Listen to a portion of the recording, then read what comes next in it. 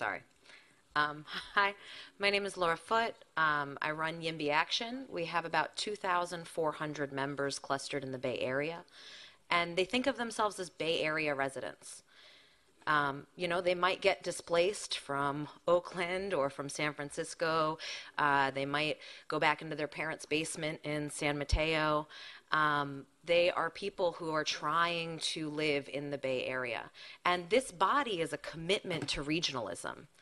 This body is a recognition that we need to work together, that we are stronger when we make policy with each of the different cities and towns committed to helping one another. And if we do not take this next step in regionalism, the Bay Area is going to continue to crumble. And it feels like it's crumbling for my generation. We cannot get a hold and it is way too difficult to find housing and to get transportation. This body has the ability, actually, more than any other, to submit actually good amendments. You all know how difficult regionalism is.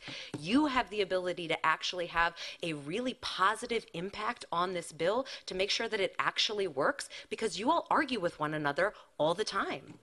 And so you know how to make this function, whether it's going to be folded into an existing agency or whether it's going to be a new entity. Um, I do like that the bill refers to it as the entity. It makes it pretty fun.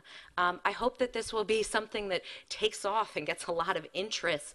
Um, if you vote to not support it, if even this body cannot support regional thinking, then we are in real trouble.